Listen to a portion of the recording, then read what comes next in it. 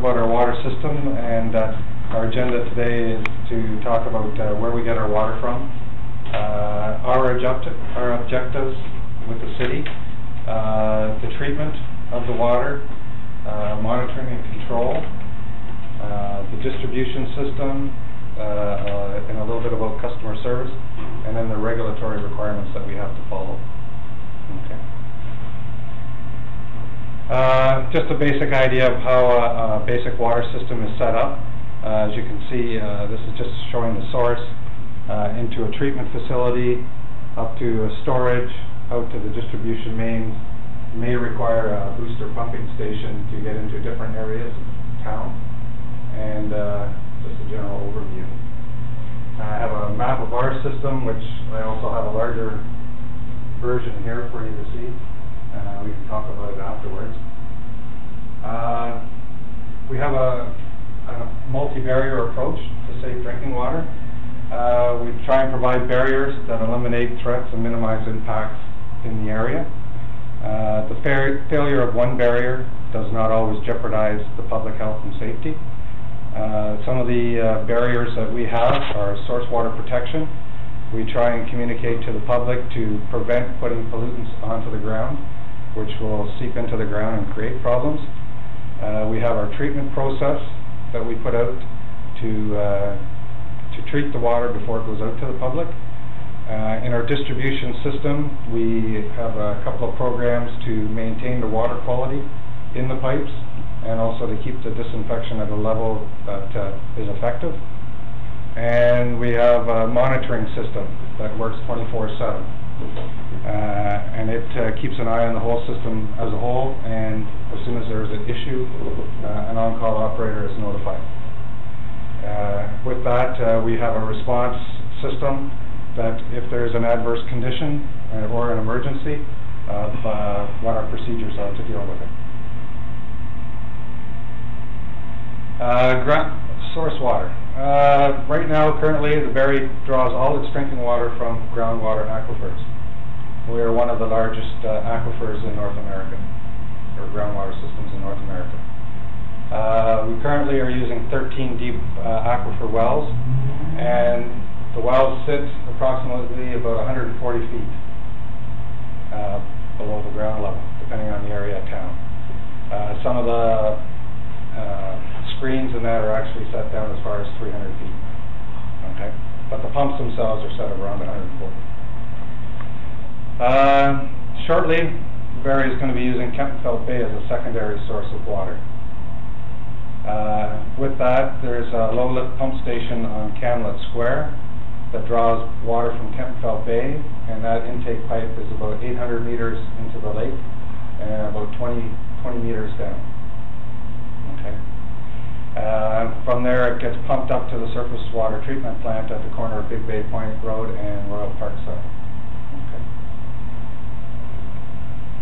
Uh, our objectives with the city of Barrie is to provide safe, potable drinking water, uh, to pollute, produce aesthetically pleasing drinking water, and to try and meet those two objectives at a reasonable cost. Aesthetically pleasing.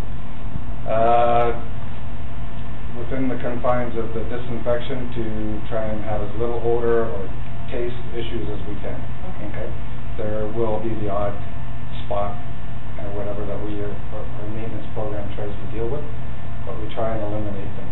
Uh, Back in the, uh, before 2000, around 2000, uh, when we first uh, got more into this, uh, we used to have quite a few customer complaints uh, in certain areas, and now I think we might get one or two a week as a rule.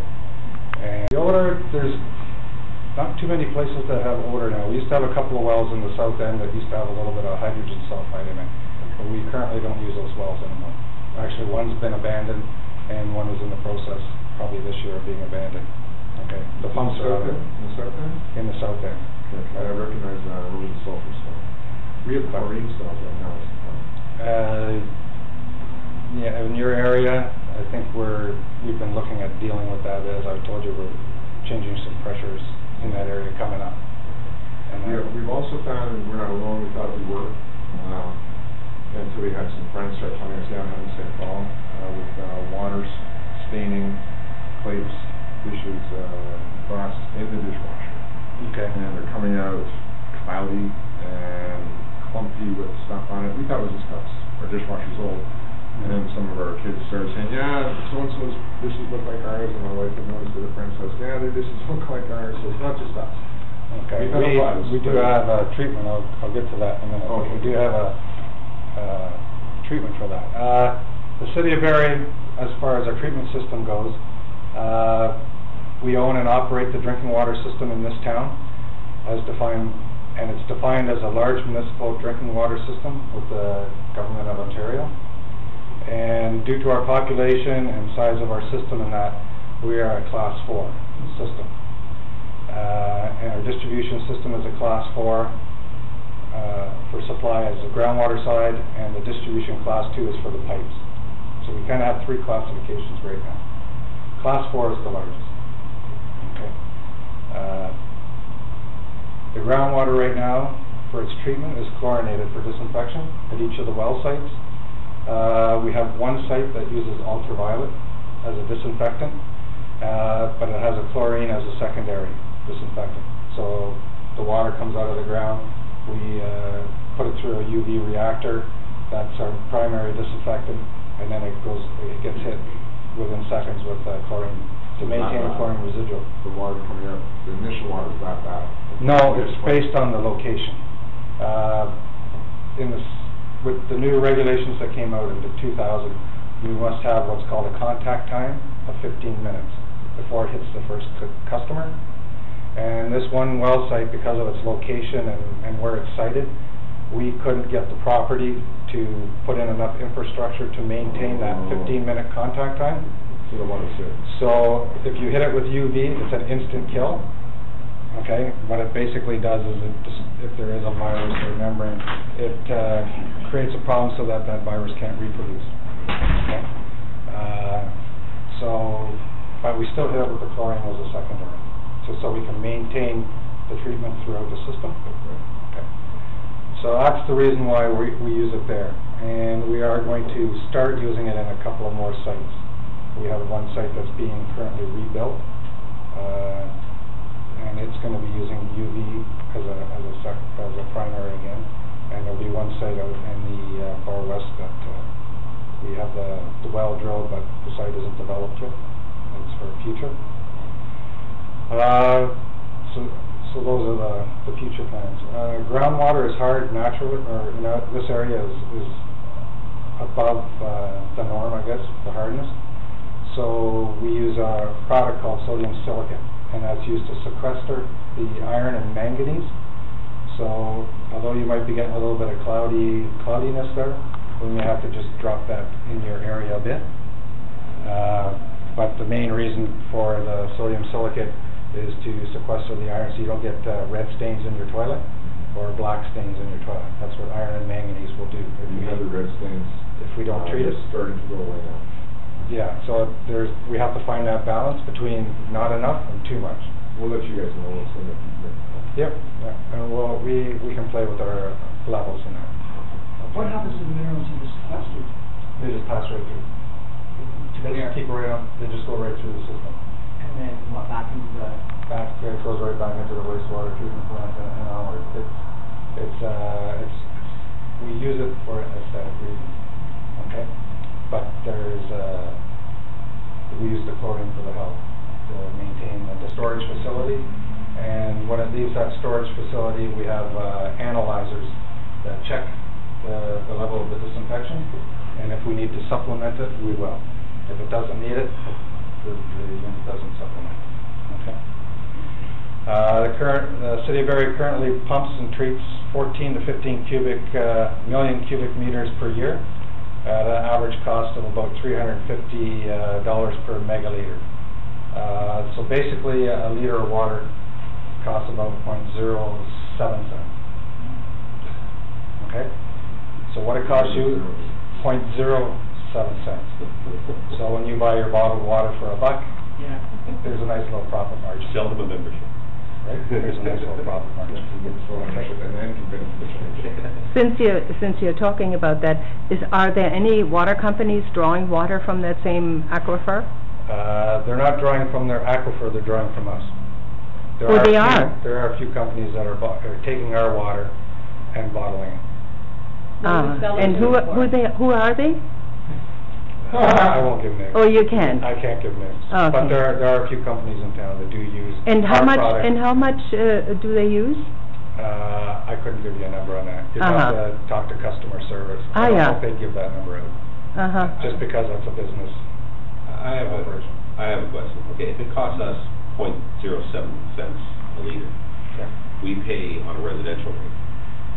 They pay a business. But you rate. pay, uh, yes, uh, there is a stagger. The first, the first fifteen cubic meters is constant for everybody. Okay, It only starts diverging after that fifteen cubic meters.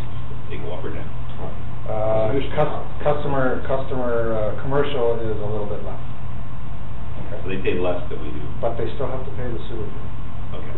Even though, even though they use the water, but they don't use the sewer, they still have to pay the sewage rate. I don't mean to put you on the spot. They're not getting the abatement? They're not allowing them the abatement? Uh, the last I heard, they tried, and the last I heard that they were not successful. But that could have changed since then, that was a few years ago. We have a hockey rink in Klein, the same issue, that they bring water in and they freeze it, and it just evaporates, but they're being charged by the city of Cambridge for sewage. Yeah. And Because they use the they're water. fighting it because it's, Water in and water out. but there's no, out- It's coming out somewhere. in the air. It's ice, it vaporizes. As, the- as the city's concerned, it has potential going back into the sewage system, so.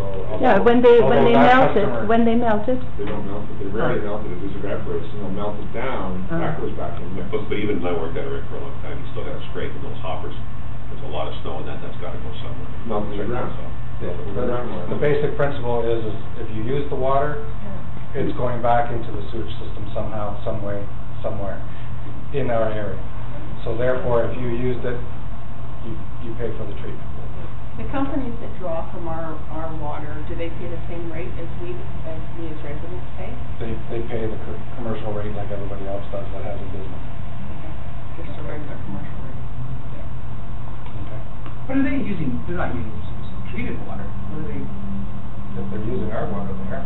and then, what, then they're filtering it and bottling it? Yeah. I know, I, I don't know. All bottled water comes that way, there's about a handful, it really comes from the what's Right, that's right. all- And if you look, comes you have to look at the bottle Yeah. to notice where it comes from. So Uh, you're it may chlorinating the water, and they're taking the chlorine out and bottling it, essentially. And maybe Maybe. not even. Yeah, you don't need, I can't say. They might not even filter it. Yeah. Oh, okay. so that's, that's the whole, that's the Like a whole. Kentucky Fried Chicken here? Some people, some people use re- reverse osmosis, some Yeah. people don't. I can't, each business would have their own proprietary treatment, and I can't say what they use, okay?